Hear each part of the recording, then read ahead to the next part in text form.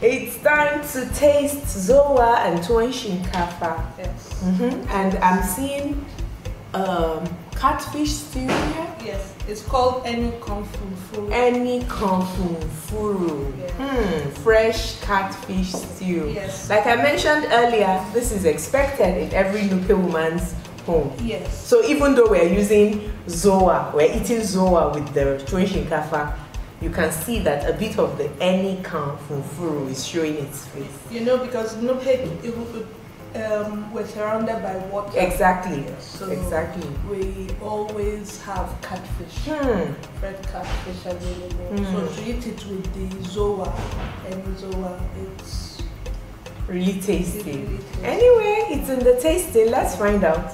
Let's find out, chef.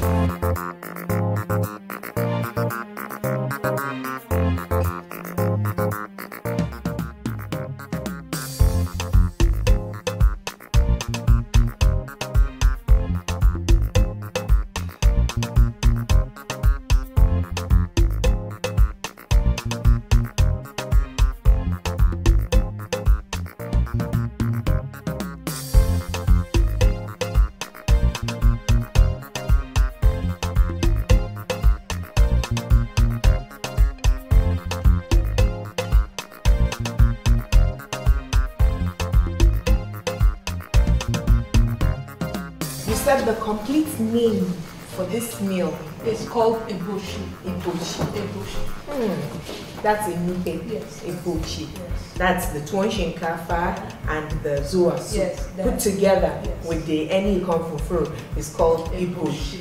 Hmm, fantastic. So let's find out. Our hands are already washed. Yes, our hands are washed. I think we should dig in. Hmm.